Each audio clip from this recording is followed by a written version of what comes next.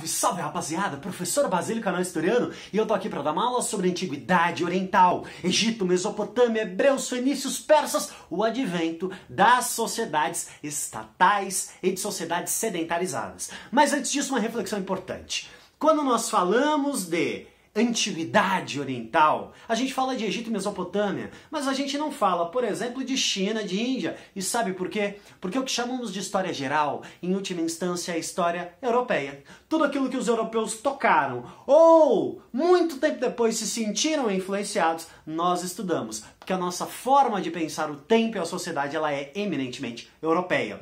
Um dado muito importante também, nós temos que tomar cuidado com a perspectiva etnocêntrica, ou seja, olhar determinada cultura com os valores da nossa própria sociedade e então hierarquizarmos. Rapaziada, a própria, o próprio advento da história, ou seja, a transição do que chamamos de pré-história ou história antes da escrita e história, já é uma visão etnocêntrica.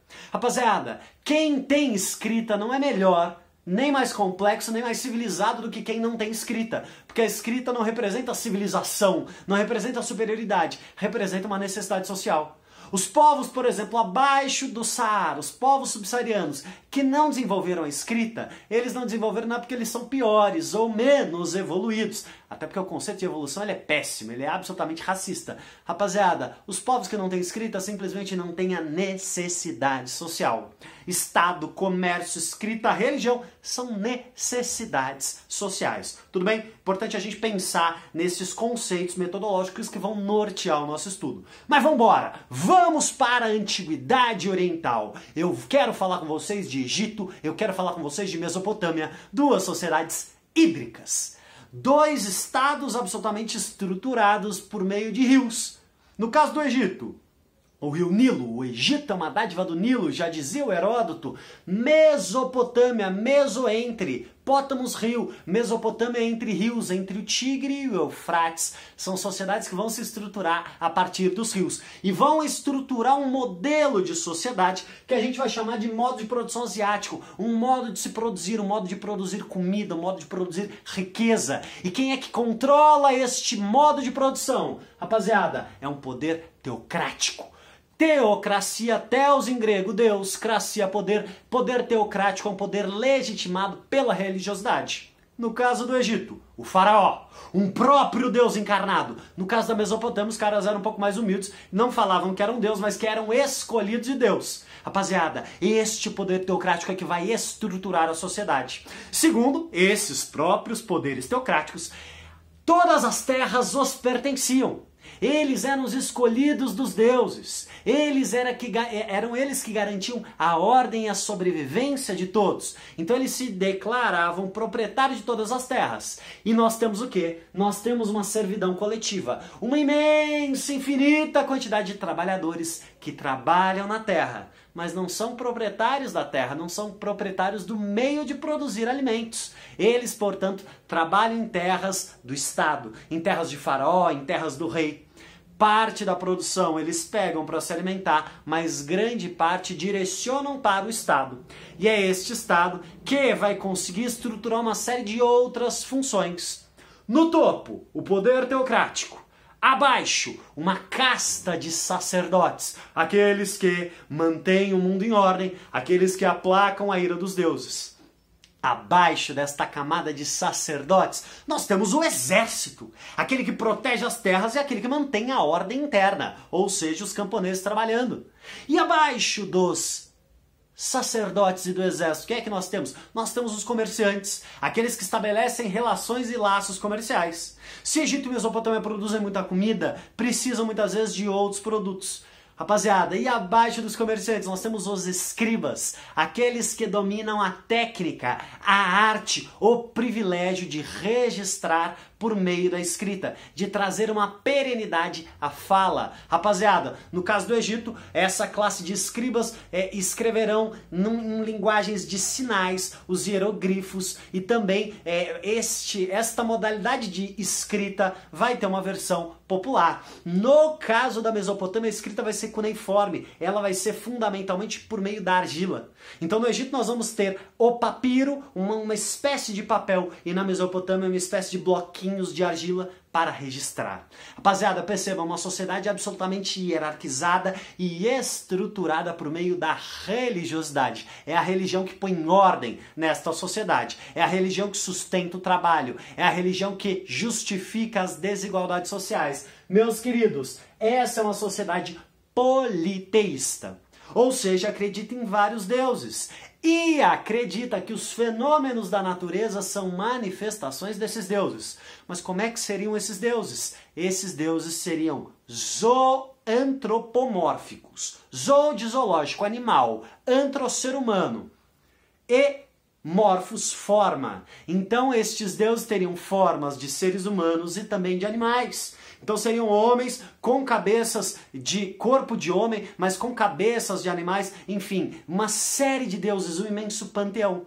E por fim, rapaziada, a natureza é mística.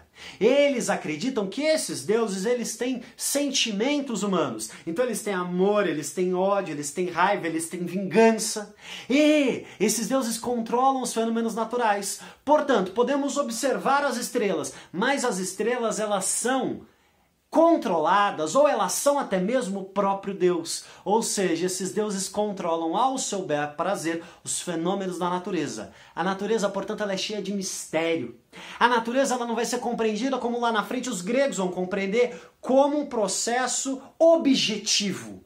Os gregos vão enxergar a natureza como um processo objetivo que não tem variação, um processo sem personalidade, sem vida. A chuva cai, mas não existe nenhuma força por trás da chuva no mundo da antiguidade oriental. São as forças mágicas e as forças míticas que controlam este processo da natureza. Rapaziada, outro dado muito importante: o Egito, graças às suas fronteiras naturais, mares, desertos, o Egito vai ter uma grande estabilidade política. Rapaziada, quase 3 mil anos de uma estrutura estatal minimamente estável. Já na Mesopotâmia, uma grande planície, nós teremos um contexto de belicosidade, cidades disputando o poder e o controle na Mesopotâmia. Vamos começar na Mesopotâmia com os sumérios, depois os acadianos, depois os babilônicos amoritas, depois os assírios e depois os neobabilônicos, que são os caldeus, ou seja, uma sucessão de povos que vão ali disputando e controlando aquela região. Rapaziada, Egito e Mesopotâmia, riquíssimos graças às suas terras férteis, graças às cheias dos rios. E estruturam o Estado fundamentalmente por quê? Porque precisam de obras, obras de irrigação. É este Estado teocrático que articula obras, diques, canais, de forma a viabilizar a produção agrícola. Rapaziada, essa galera é a galera da grana, a galera do poder, é a galera de grandes construções como as pirâmides, é a galera de grandes conhecimentos de observação dos astros, de sistematização de calendários, de conhecimentos de engenharia, estruturados por este Estado teocrático. Tudo bem? Mas percebam, repito isso mais uma vez, a natureza é sempre o espaço do mistério, nunca da razão. O conhecimento e o desenvolvimento é um desenvolvimento técnico, mas não um desenvolvimento teórico e abstrato, porque a natureza ainda é controlada, na perspectiva desses povos, pela religiosidade. Meus queridos, mas além de Egito e Mesopotâmia, nesse meio do caminho tem outro povo muito interessante, que são os hebreus. Os hebreus são um povo que saiu da Mesopotâmia e eles quiseram ser diferentões. Os hebreus começaram a acreditar que não havia vários deuses, mas somente um Deus. Rapaziada, a história dos hebreus que é dividida em alguns momentos. Então, os patriarcas, é, a, aqueles pais fundadores desse grande povo hebreu, depois os juízes depois os reis. O que define os hebreus? Monoteísmo. Os hebreus acreditam na existência de um só Deus, o seu próprio Deus. Ou seja, todos os deuses estão errados e o seu Deus é o Deus certo. Mas o Deus hebreu tem uma diferença. Ele não é um Deus com valores e com sentimentos iguais aos seres humanos. Para os hebreus, este Deus é tão diferentão que ele não pode ser nem representado.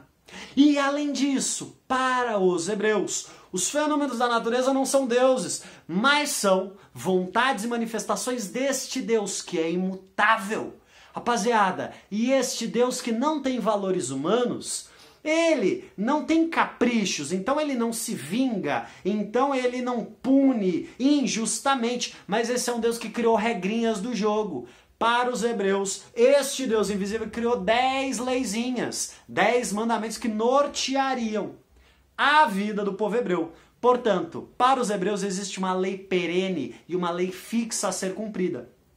Logo, os hebreus não estão, na sua perspectiva, submetidos ao arbítrio dos deuses, à variação do comportamento dos deuses, mas existe uma regra objetiva a ser cumprida. Além disso, eles vão entender os fenômenos da natureza não como variações de vários deuses, mas como manifestações de seu único Deus. Rapaziada, o monoteísmo hebraico vai estruturar a sua relação histórica, porque este Deus único, invisível, absoluto, ele se encaminharia por meio da história. Portanto, os hebreus registram a história. Eles têm a preocupação do registro da história, porque será na história que este Deus único, seu e próprio, atuaria na vida do seu povo. Tudo bem? Então percebam, já é um aspecto bastante diferente de Egito e Mesopotâmia.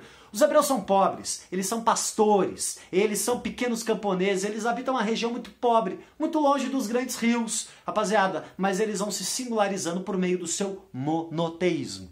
Além disso, outro povo muito importante, os fenícios. Rapaziada, se Mesopotâmia está na região do atual Iraque, Egito está no Egito mesmo, e os hebreus estavam ali na região da Palestina, os fenícios ocupavam uma parte do litoral, do atual Líbano, um pouquinho ali um pedacinho da Síria.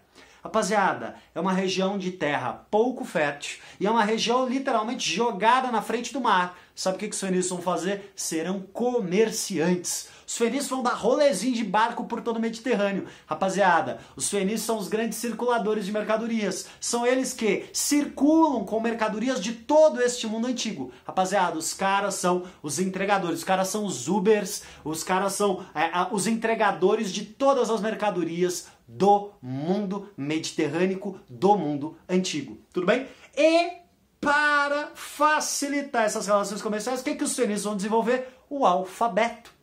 Uma forma de registro escrito, não por meio de símbolos que somente os escribas sabem, mas por meio dos sons. Então, por exemplo, eles vão criar representação de letras baseada no som, baseada no fonema, por isso alfabeto. Beleza? E algo que vai ser muito importante, que vai ser muito apropriado depois pelos gregos. Rapaziada, já adianto para vocês, os gregos vão chupinhar isso, eles vão se apropriar de várias coisas e vão ressignificar. Os gregos se apropriam de muitas coisas de Egito, Mesopotâmia Hebreus e vão dar um significado diferente. E por fim, neste mundo da antiguidade oriental, nós temos os persas. Os persas são um povo ali da região do atual Irã.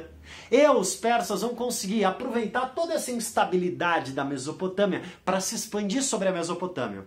Eles ficam fortões e se expandem também sobre o Egito. Os persas vão chegar quase no mundo grego. Na verdade, eles vão chegar no mundo grego, entrarão em guerra com o mundo grego. Mas, rapaziada, como é que os persas conseguiram tanta, tanta unidade? Como que eles conseguiram tanta força num império? Substancialmente. Os persas criaram uma política de assimilação.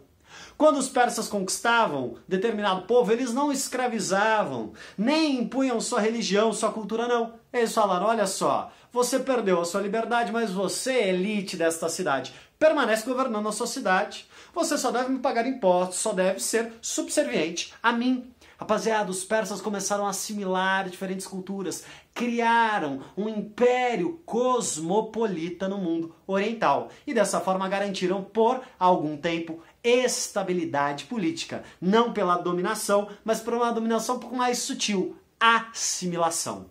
Rapaziada, essa é a antiguidade oriental que vai influenciar profundamente gregos e romanos, mas esse já vai ser um assunto de uma próxima aula. Se você curtiu esse vídeo, dá o joinha, compartilha, segue o canal. Um excelente estudo e forte abraço!